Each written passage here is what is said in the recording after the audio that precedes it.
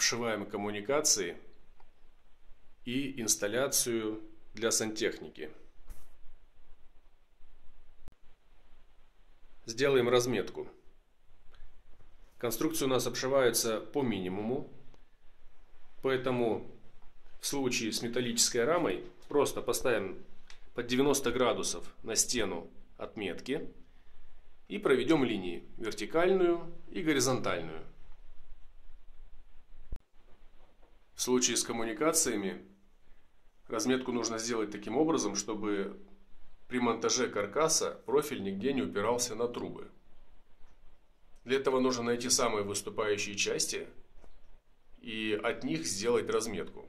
В данном случае у меня самая выступающая часть это труба наверху, с одной стороны, а с боковой это крышка ревизия. Вот эти две точки задают нам границу короба.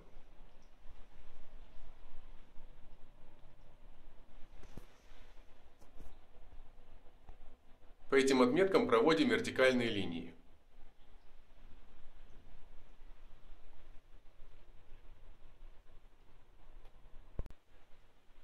Затем сделаем разметку на полу.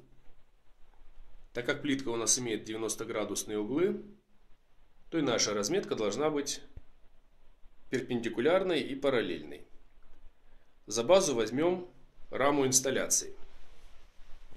Из точки входа в пол вертикальной линии делаем разметку параллельно металлической раме.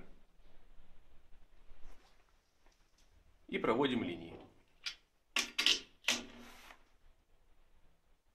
Эти линии поднимаем на потолок.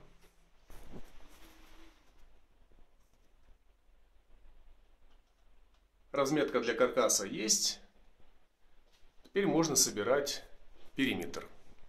В первую очередь соберем короб, который закрывает коммуникации.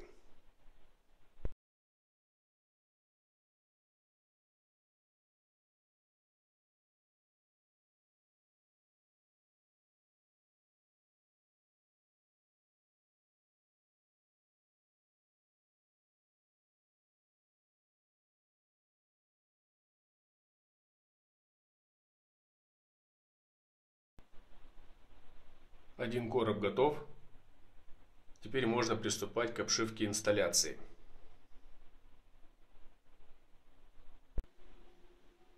По гипсокартону дочерчиваем оставшуюся разметку. Просто в продолжение металла. И по линиям закручиваем направляющий профиль. Периметр прикрутили. Теперь можно обшивать раму гипсокартоном. Сверху и сбоку можно обшить в один слой, а лицевая сторона обшивается обязательно в два слоя. Чтобы прикрутиться к раме, нужны необычные шурупы. Они такие же, как для гипсокартона, но носик у них, как у шурупов по металлу, со сверлом, для того, чтобы пройти железо. Если таких шурупов нет, то можно просверлить отверстие сверлом на 3 и закрутить обычный шуруп для гипсокартона.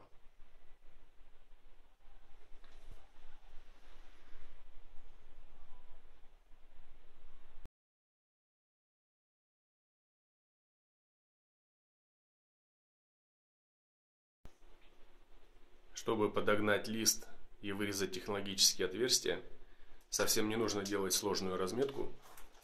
Нужно просто прислонить лист обвести заглушки карандашом и затем с небольшим запасом их вырезать.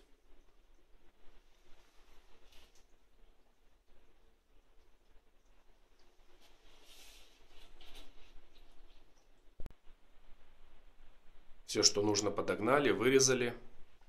Закрутили с лицевой стороны два слоя гипсокартона. И обшивка инсталляции закончена.